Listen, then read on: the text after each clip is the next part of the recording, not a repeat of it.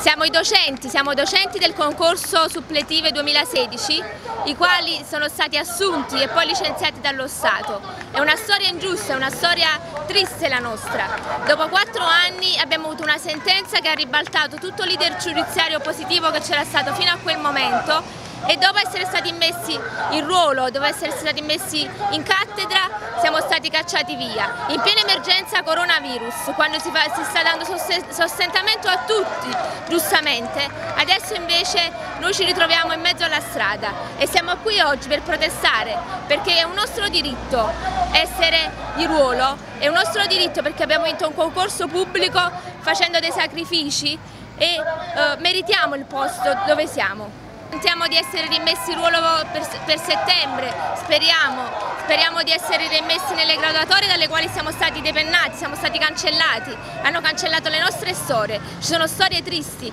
noi per accettare l'incarico pubblico, molti di noi si sono licenziati da un posto di lavoro privato, ci siamo dovuti, per, siamo dovuti per forza trovare a scegliere perché era un posto di lavoro a tempo indeterminato, quindi non potevamo mantenere entrambi i contratti ad esempio.